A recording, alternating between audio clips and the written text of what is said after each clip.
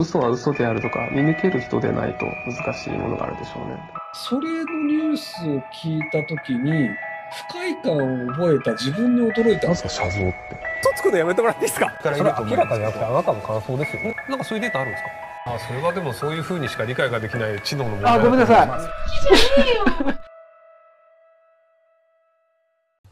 えー東出さんが山でもイノシシも女性も狩猟しまくっていたけひろゆきさんはテレビで紹介されるまでご存知でしたか？えっとあの女性は狩猟しまくってないと思いますよ。単にあの村の近所に住んでる人がいて狩りだったりあのそのさばく時とかに共同でやってるっていうだけで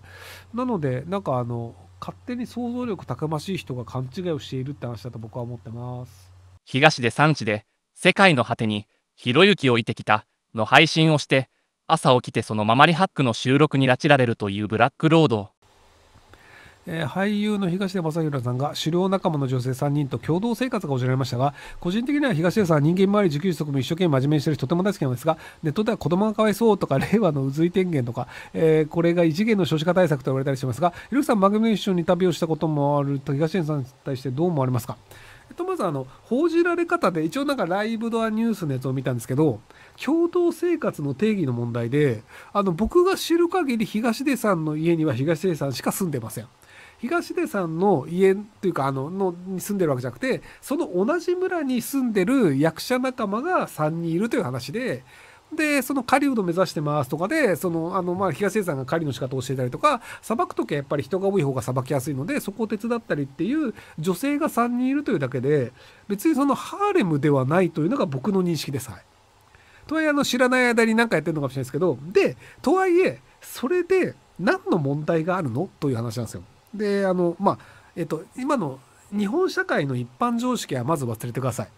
で東出さんが今どういう生活をしているかっていうとあの飯は自分で取って食って殺すっていう生活をしてるんですよ。要はその一般常識で言えば肉というのは、まあ、仕事をして稼いでそのお金でスーパーで買って食べるものなんですよ。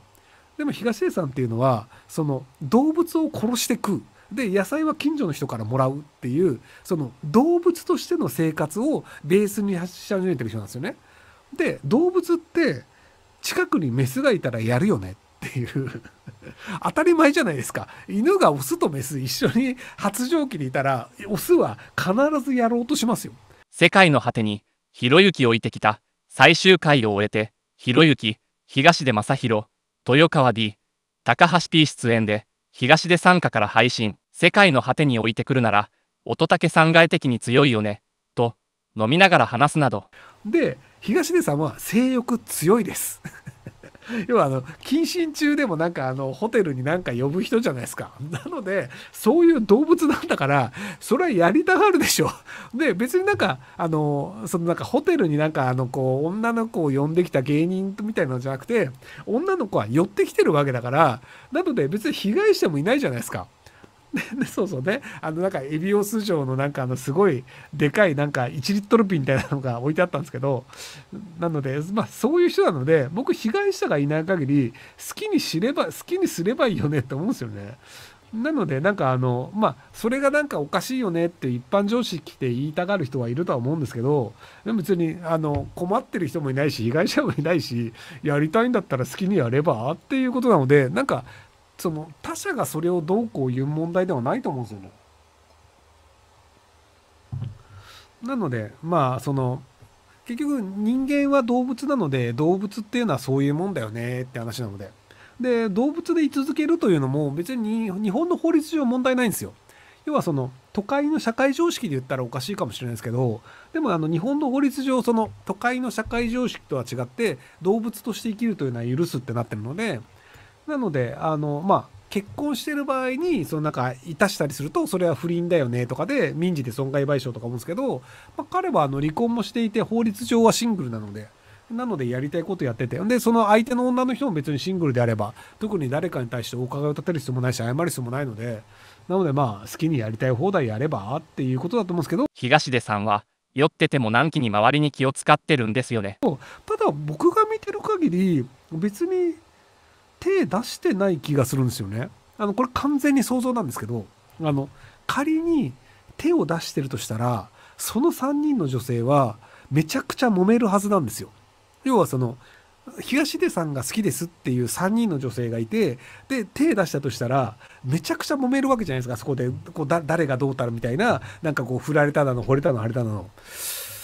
なので、多分、あの仲の良さを見ると、僕手を出してないのではないかという気がするんですよ。まあ僕の想像ですよ。あの別にあの、なんか3人ともに手を出して、なんか月曜日の妻、火曜日の妻、水曜日の妻みたいに、あのやってるそのなんかあの中東のあの一夫多妻制の国の人みたいにやってる可能性もあるんですけど、なんか僕が見る限り手を出してたらあの距離感ではないなって思うんですよね。やっぱりその手出してる男性と女性の距離感ってあるじゃないですか。マラウイで騒ぎを起こして警察に呼び出しを食らって出頭する車の中でナイフを研ぎ始める東出正宏さんは本当にヤバいやっこだと思いますあのー僕、まあ今結婚してるんですけど、あの、元彼氏、うちの彼女の元彼氏を当てたことがあるんですよ。あの、この人元彼氏でしょっていうの。で、やっぱね、距離感でわかるんですよ。あの、隠そうとして動いてたんですよ。で、周りの人でそれも知らない人もいたんですけど、でも、なんか、あの、話し方とか距離感とかで、あ、この人は多分元彼氏だよねっていうのって、なんとなくわかるんですよ。で、もちろんあの、わかんない人もいますけど、で、行くと、東出さんと、その、一緒にいた、あの、まあ、年末にあの、年末か、あの、去年か。去年の9月ぐらいかな？あの、東出さん家に行ってバーベキューてとかやってて、で、その配信も流してるんですけど、やっぱりなんか、この関係性だと手出してたらもうちょっと近いよねとか、っていう、そのなんか、このタイミングで敬語を使うんだ、ふーんとか、その、酒飲んでる時はタメ口だけど、でもなんか突っ込む時の、そのなんか、叩き方の距離感違うよねとかっていうのもなんか、なんかあるので、まあ間違ってるかもしれないですよ。思い込みかもしれないですけど。はい。はい、これ読んだやつです。すいません。集まれ東出の森屠殺俳優の東出正宏さんが MC になった模様ああ、だからその、えっ、とまあ、えっ、と、蛍光牛語という考え方があって、僕どちらかというと、その、長いものに巻かれるよりも自分自身で物事を決めての方が楽しいと思うタイプなんですよ。なので、あの、その街中とか大きな会社で、なんか人に頭を下げて言われることを、なんかや、こう、言われた通りに働いて、毎月毎月お給料をもらうというよりは、多分なんかあの、関東の山の中で鹿とかを撃ち殺して食ってるっていう東出さんみたいな生き方の方が、僕はどちらかというと、実は共感を感じるんですよ。なので、あの、まあ、その大学卒業した後もまともにそのサラリーマンとしてそのフル、あの、正社員になったことは僕はないんですけど、でもやっぱ多分それ向いてないよね、できないよねっていうのが分かってたので、なので自分で会社を作って、まあ自分で稼いで自分で暮らしてっていうので、で、ある時突然、あ、僕フランス行くんで、あとよろしくお願いしますって言って、割と日本の会社を完全にその 他の人に任せるっていうので、だらだらフランスで楽しくしてるみたいな、そんなあの、割と他人に迷惑をかけつつ暮らしているので、なので僕はなんか自分自身で生きている方が幸せなんじゃないかなと思うんですけど。だって朝起きなくていいんですよ。その起きたい時に起きてあの寝たい時に寝てて今日は眠いからもう仕事しないとかっていうのができるんですよ。なのでなんか人生としては全然そっちの方が幸せなんじゃないかなと僕は思うんですけどね。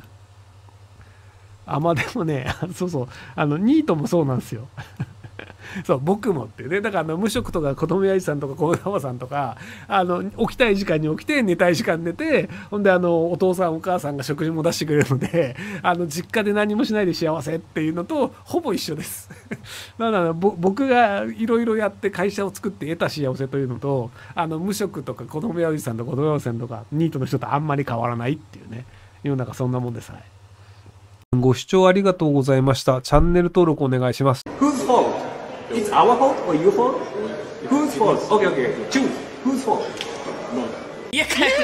のつらいですよね。どこ帰るんですか